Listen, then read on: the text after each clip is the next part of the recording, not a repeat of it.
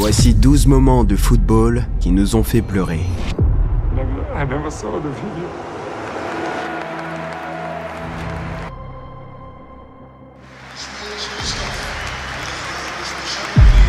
Commençons par le moment le plus émouvant que le monde du football ait connu en 2022. C'était lorsque Jody Lukoki nous a quittés.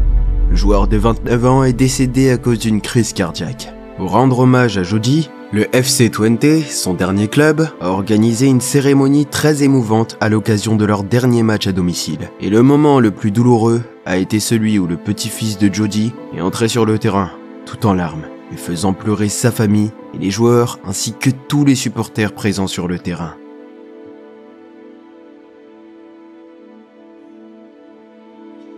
Cela a clairement montré à quel point la perte d'un père peut être difficile pour un enfant. Et c'est exactement ce que Ronaldo a ressenti à ce moment.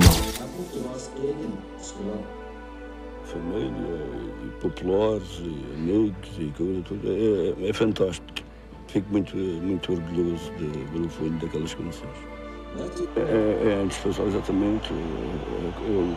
É, o carinho que ele tem e a mãe é, é um, é um guarda-costas que ele tem.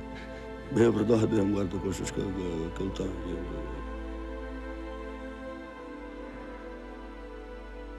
Never, I never saw the video. And for me, it's uh, it's made me sad because everything What's the sadness for you? to be the number one, and I don't see nothing. I don't see to receive awards. To see what I You never saw how great you No. became. now. En effet, j'imagine à quel point cela peut être douloureux quand tu deviens un des meilleurs joueurs de l'histoire du football, mais que ton père, qui t'a toujours soutenu, ne soit pas là pour voir ce que tu accomplis. C'est triste. Mais ce qui est encore plus triste et déchirant, c'est ce qui est arrivé à un petit enfant de 6 ans comme on va le voir dans un instant. Mais avant, on pense souvent que les athlètes les plus forts sont quasiment invincibles. Alors que la vérité est différente. Même les plus forts ont leurs moments de faiblesse. Zlatan Ibrahimovic par exemple. Cet homme est connu pour sa forte personnalité sur le terrain. Il est couvert de tatouages impressionnants. Il s'entraîne comme un combattant et joue avec une intensité tellement forte qu'il est craint par ses adversaires. On n'imaginerait jamais que quelqu'un comme lui puisse être amené à pleurer devant le monde entier. Pourtant, il s'est passé quelque chose entre lui et son club de cœur, l'AC Milan, qui a fait que cela est arrivé. Dès son arrivée à l'AC Milan, Zlatan est devenu l'un des joueurs préférés des supporters. Non seulement en raison de son talent exceptionnel et de la beauté et la rareté de ses buts, mais aussi parce qu'il a aidé l'équipe à remporter des championnats qu'elle n'avait pas gagnés depuis des années. Mais pour Zlatan, il n'y avait pas que le football. La communauté dans laquelle il jouait comptait tellement pour lui qu'il a personnellement fait don de centaines de milliers de dollars à des causes locales et qu'il est devenu une figure des campagnes de collecte de fonds pour les hôpitaux de la région, récoltant plus d'un million de dollars. Tout cela a fait de lui une véritable légende à l'AC Milan. Mais finalement, le jour que tous les fans craignaient est arrivé. Zlatan est arrivé à un âge où il devait faire ses adieux au football. Pour lui rendre hommage, l'AC Milan a organisé un événement spécial et a fait pleurer tout le stade.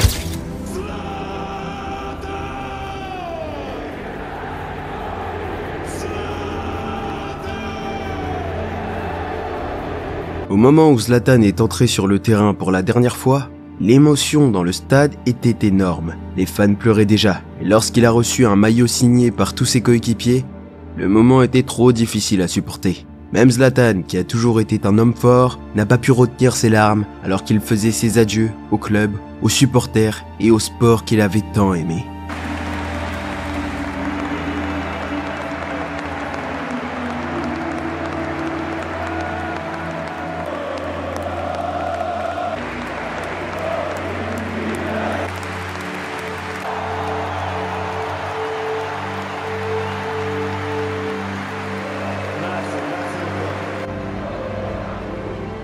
Waouh, c'est très émotionnel. Le prochain moment est encore plus triste. Marc Vivienne Fouet a vécu l'une des tragédies les plus traumatisantes de l'histoire du football. Le 26 juin 2003, lors de la Coupe des Confédérations, le Cameroun joue contre la Colombie. En plein match, Fouet s'effondre sur le terrain sans aucun signe préalable.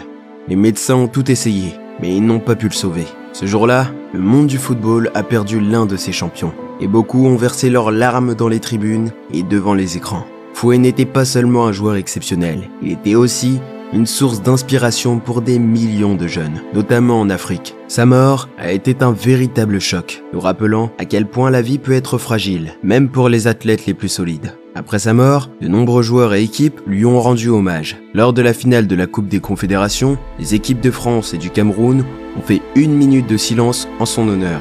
Thierry Henry a montré une grande émotion sur la pelouse en rendant hommage à son ami décédé.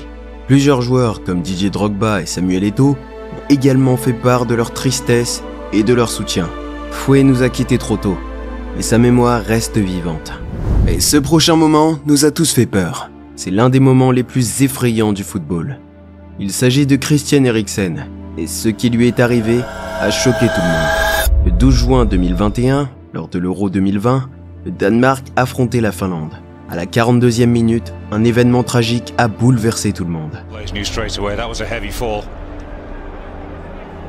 Eriksen s'est soudainement effondré sur le terrain, laissant les milliers de personnes présentes dans le stade dans une stupeur totale. Personne ne savait quoi faire, sauf le capitaine danois, Simon Kerr, qui a immédiatement pris les choses en main. Sans hésiter, Kerr a couru vers Eriksen, l'a placé dans une position sécurisée à dégager ses voies respiratoires et à empêcher qu'il n'avale sa langue. Son intervention rapide a été cruciale pour la survie d'Eriksen. Cependant, le travail n'était pas encore terminé. Eriksen a ensuite eu besoin d'une réanimation d'urgence sur le terrain. Une intervention qui a duré 13 longues minutes, sous les regards horrifiés du public et des téléspectateurs du monde entier. Christian Eriksen était mort pendant quelques secondes, mais les médecins ont réussi à le ramener en vie avec une défibrillation. Maintenant que nous savons tout cela, nous pouvons dire que sans la réaction rapide de Simon Kerr et le travail du personnel médical, Christian Eriksen ne serait pas ici avec nous aujourd'hui. I want to salute a man that really made a difference this year. This man is a hero. This is bigger than football. This is bigger than us. For me, it's the highlight of 2021. Simon Kerr saved the life of his partner, Christian Eriksen, on the 12th of June this year. Ladies and gentlemen, a round of applause for the Danish captain with us tonight, Mr. Simon Kerr. Je le dis toujours, le football est plus qu'un simple sport. Ce moment m'a vraiment donné des frissons. Et pas autant que le numéro 6.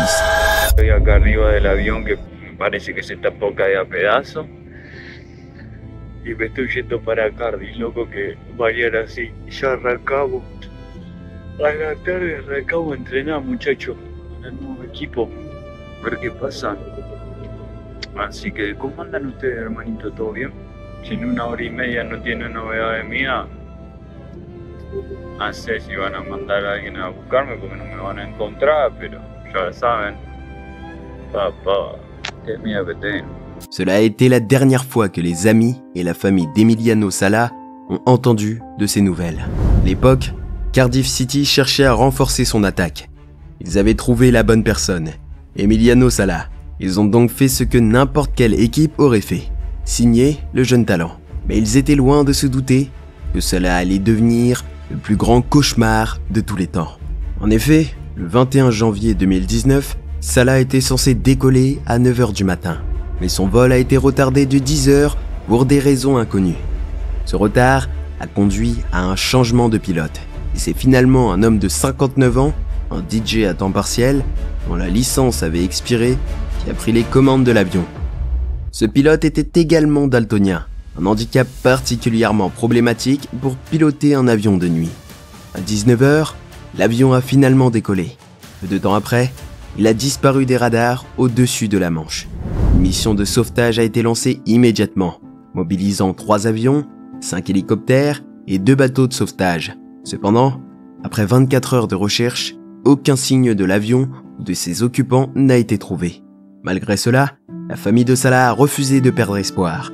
Le monde du football s'est rapidement mobilisé pour soutenir la famille dans la collecte de fonds afin de financer une équipe privée de recherche et de sauvetage. Le 7 février, cette équipe a réussi à retrouver l'avion au fond de la mer avec un seul corps, celui d'Emiliano Sala. Et le corps du pilote n'a jamais été retrouvé. Honnêtement, le simple fait d'évoquer ce moment me rend très triste et très ému. Maintenant, vous avez déjà dû entendre parler de ce prochain incident tragique. Mais les réactions de la famille du joueur au soutien qu'ils avaient reçu vont vous faire pleurer. L'histoire d'Abdellah Kapinouri est l'une des plus tristes et des plus émouvantes du football moderne. Nouri était un joueur extrêmement talentueux, qui évoluait à l'Ajax Amsterdam et qui était promis à un avenir brillant. Seulement 20 ans, il était déjà considéré comme un des plus grands espoirs du football néerlandais. Mais le 8 juillet 2017, lors d'un match amical contre le Werder Bremen en Autriche, la vie d'Abdellah Nouri a complètement changé. En plein match, il s'est effondré sur le terrain, souffrant d'arythmie cardiaque. Les secours sont intervenus immédiatement, malgré leurs efforts, Nouri a subi de graves lésions cérébrales dues à un manque d'oxygène pendant une longue période. Cet incident a laissé le jeune joueur en état de survie et a bouleversé sa famille, ses amis et tout le monde. Les réactions du monde du football ont été extrêmement émotives. Ses coéquipiers, les supporters de l'Ajax et les joueurs à travers le monde ont exprimé leur soutien et leur solidarité. Le numéro 34 porté par Nouri est devenu un symbole de solidarité. L'Ajax a rendu hommage à Nouri de plusieurs manières, notamment en retirant le numéro de son maillot. En 2020, après près de trois ans de coma, la famille de Nouri a annoncé qu'Abdellac était sorti du coma et se trouvait dans un état stable, même s'il restait gravement handicapé. Malgré les énormes défis auxquels il est confronté, sa famille reste à ses côtés, le monde du football continue de soutenir Nouri et sa famille.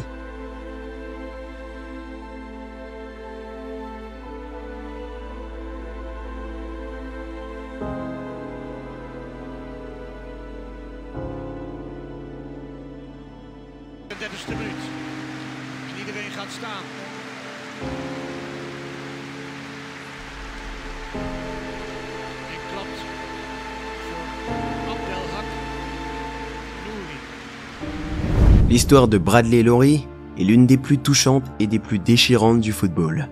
Ce petit ange a fait pleurer le monde entier en 2017. Il va sûrement te faire pleurer également. Bradley, un petit garçon de Sunderland en Angleterre, a été diagnostiqué avec un neuroblastome, une forme rare de cancer, à l'âge de 18 mois seulement. Malgré un traitement intensif, le cancer est réapparu à plusieurs reprises. Bradley a dû faire face à une bataille qu'aucun enfant ne devrait jamais avoir à affronter. Malgré la gravité de sa maladie, Bradley est devenu un supporter fidèle de Sunderland, ce qui lui a permis d'attirer l'attention de son club préféré et ensuite du monde entier. Sa relation avec Jermaine Defeuille, un des joueurs de Sunderland, a été très spéciale. Germain et Bradley ont rapidement développé un attachement très fort. Germain rendait régulièrement visite à Bradley à l'hôpital. Et Bradley l'accompagnait souvent au terrain, main dans la main, avec un sourire qui a touché tous les cœurs des supporters présents dans le stade. En 2017, accompagné de Germain, Bradley a vécu un moment inoubliable quand il a été applaudi chaleureusement pour son grand courage.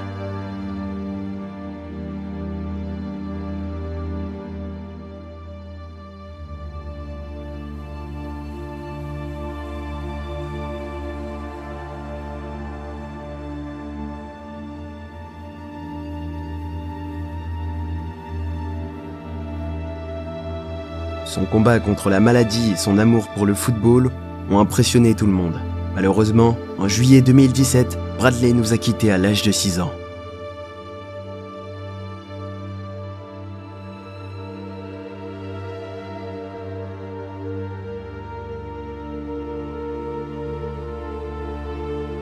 Mais son histoire restera toujours vivante.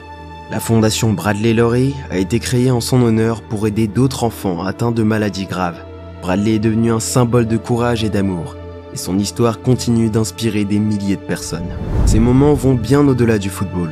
Ce sont des moments qui nous saisissent le cœur et nous laissent avec une émotion profonde, difficilement supportable. Imaginez que vous soyez dans un stade rempli de milliers de supporters, tout cela pour encourager leur équipe préférée. Et avant de voir le match tant attendu, vous allez assister ce jour-là à quelque chose de très spécial et profondément émotionnel. Marshall Johnson, un jeune garçon qui a survécu à une méningite dévastatrice à l'âge d'un an, il a perdu ses bras et ses jambes pour survivre.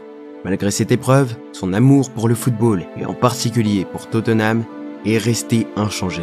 Son histoire a touché des milliers de cœurs, dont celui de Moussa Dembélé, l'une des stars de l'équipe à l'époque. Dembélé a invité Marshall pour venir jouer sur le terrain devant plus de 36 000 supporters. Lorsque Marshall, avec toute sa force et son courage, est entré sur la pelouse,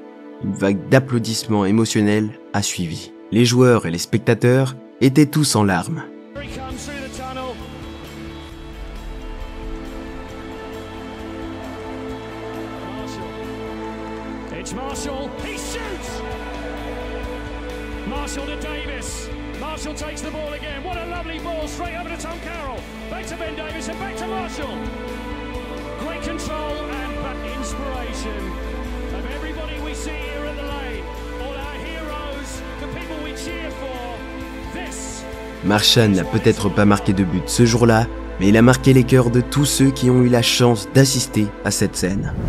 Un autre événement qui est l'un des événements les plus tragiques de l'histoire du football s'est produit lorsqu'un hélicoptère a décollé de ce stade et s'est malheureusement écrasé. Cette catastrophe a entraîné une vague de réactions dans le monde entier.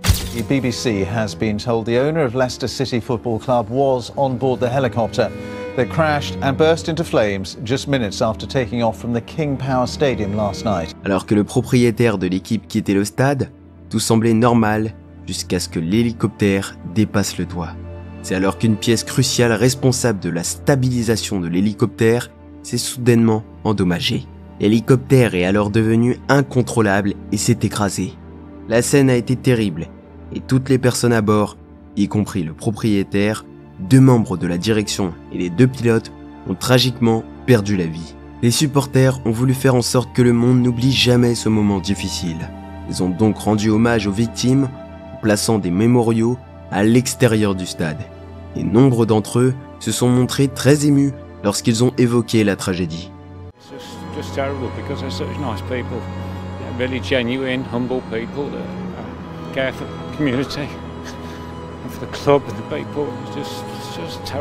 On peut entendre la dévastation dans sa voix lorsqu'il parle de la tragédie. Ce ne sont pas seulement les supporters qui ont été profondément touchés, mais toute l'organisation a été affectée. Lors du match suivant, ils ont fait quelque chose de vraiment spécial. Des drapeaux et des affiches ont été levés dans les tribunes. Un hommage affectif a été diffusé sur l'écran géant, ce qui a fait pleurer de nombreux supporters. Et aussi, une minute de silence a eu lieu. Bien entendu, les joueurs étaient très émus avant le début du match, mais ce qui s'est passé ensuite était exactement ce dont les supporters avaient besoin. Lorsqu'un joueur de Leicester a marqué le seul but du match, il a rendu hommage au propriétaire lors de sa célébration. Cela a finalement donné à tout le monde une raison de sourire, car cela a également permis à leur équipe de remporter le match. Les émotions ont été encore plus fortes après le match, lorsque toute l'équipe a pris l'avion pour faire plus de 9000 km jusqu'à Bangkok, la ville natale du propriétaire, pour ses funérailles. Tous les joueurs ont serré le fils du propriétaire dans leurs bras et se sont réunis pour prier, ce qui a rendu les adieux encore plus touchants. C'est très triste. Je n'arrive toujours pas à croire qu'un tel incident est arrivé. Maintenant, il s'agit d'une histoire complètement différente. Sven Goran Eriksson a eu une carrière exceptionnelle en tant qu'entraîneur de football. Il a remporté plusieurs titres, dont la Coupe de l'UEFA le championnat de Serie A, et a même entraîné l'équipe nationale d'Angleterre lors de la Coupe du Monde. Mais au début de l'année 2024, un cancer en phase terminale lui a été annoncé. Et il ne lui restait plus qu'un an à vivre. Malgré tout ce qu'il a accompli, Sven a dévoilé dans une interview qu'il avait toujours un rêve, mais qu'il savait impossible à réaliser. I.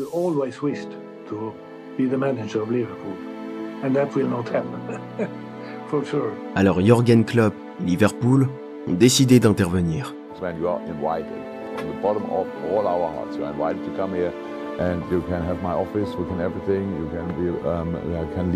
Et ce qui s'est passé ensuite est tout simplement fantastique.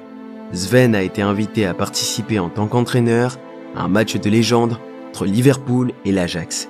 Il a dirigé une séance d'entraînement, a donné une conférence de presse et a pu vivre l'atmosphère incroyable d'Anfield. Ce beau geste a permis à Sven de réaliser son plus grand rêve et a été apprécié par tous les fans de Liverpool.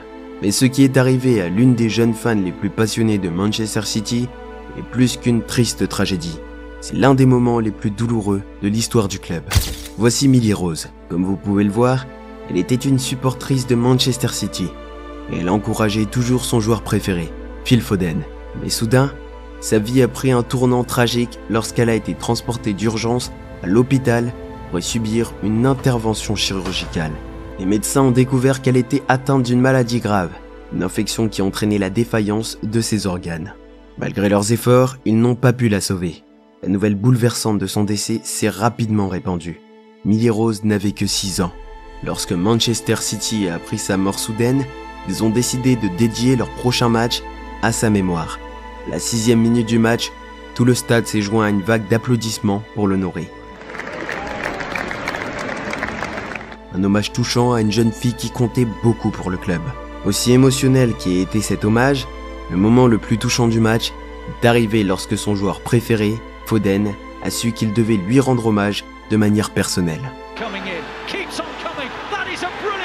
Après avoir marqué un but incroyable, il savait que Millie aurait adoré, Phil a célébré avec ses coéquipiers, lui a pointé le ciel et s'est embrassé les mains avec un geste venu du fond du cœur. Plus tard, Phil a rendu l'hommage encore plus spécial en partageant des photos de ce moment avec des millions de fans, en disant clairement ⁇ Ce but était pour toi, Millie Rose ⁇